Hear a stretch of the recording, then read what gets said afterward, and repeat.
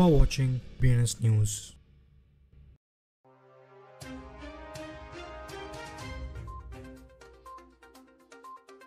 आज की headlines North Korean Lazarus groups ने बिटकॉइंस ओवर 40 मिलियन डॉलर्स जमा किए.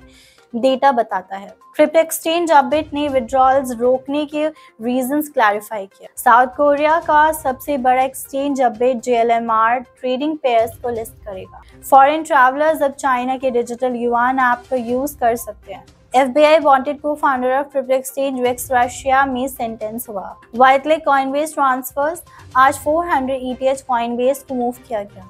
एक्सथीरियम एडवाइजर ने ETH गेट न्यूज़ के बीच XRP कॉम्युनिटी को अपलोड किया।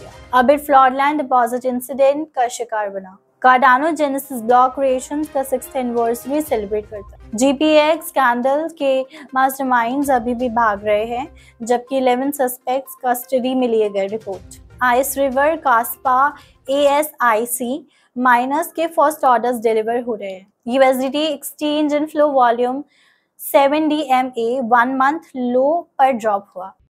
डेटा के अकॉर्डिंग जो डून एनालिटिक्स से 21 को 21 शेयर्स की पेरेंट कंपनी से लिया गया है।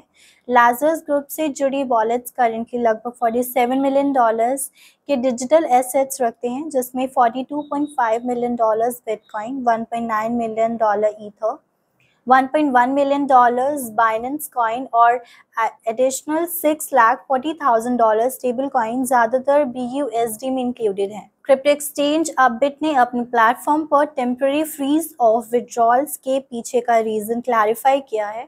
अपबिट ने यह भी अश्योर किया है कि उन्होंने थॉरो रिव्यू किया है और सब वो अपने सर्विसेज़ रिज्यूम करने के लिए रेडी हैं। अगले तीन घंटों में G L M R deposit users के लिए ओपन होंगे। एक इंपॉर्टेंट नोट के साथ ही डिपॉजिट सिर्फ़ मूनबीन्स नेटवर्क से ही सपोर्ट किए जाएँगे।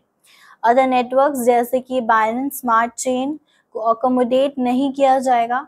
G L M R pair के लिए transaction support September twenty five two को एट यू टी सी पर शुरू होने वाला है। चाइना आने वाले विजिटर्स अब सेंट्रल बैंक के ऑफिशियल सीबीडीसी मोबाइल ऐप के थ्रू ओवरसीज कार्ड से डिजिटल युवान टोकन्स खरीद सकते हैं। चाइना बिज़नेस न्यूज़ के according Y I C A I bank ने अपना ऐप अपडेट किया है, जिससे चाइना आने वाले विजिटर्स डिजिटल युवान ऐप को ऐप मार्केट प्लेसेस से डाउनलोड कर सकते हैं। एलेक्सी बिलियोचेंको वेक्स का को फाउंडर्स जो इन famous Russian crypto exchange BTC E का सक्सेसर है, सिर्फ़ कुछ साल प्रिजन में बिताएगा।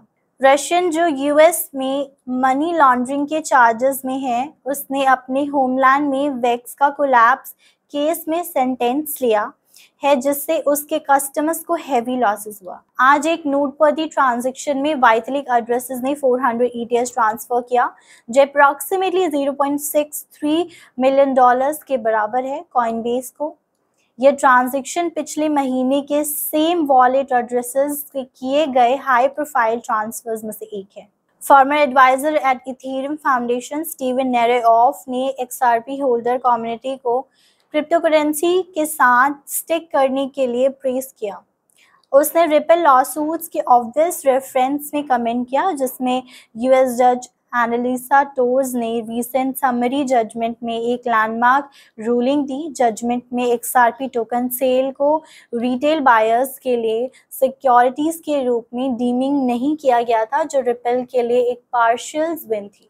साउथ कोरिया का टॉप क्रिप्टो एक्सचेंज अपडेट एक फ्रॉडलैंड डिपॉजिट इंसिडेंट का शिकार बना, जिससे इसके ऑपरेशंस में चावस आया सितंबर 24 को अपडेट ने एप्टॉस टोकन्स का डिपॉजिटिंग और विड्रॉल को रिपोर्टिंग दी। हॉल्ट किया जब उन्होंने डिस्कवर किया कि उनमें से कुछ फेक थे।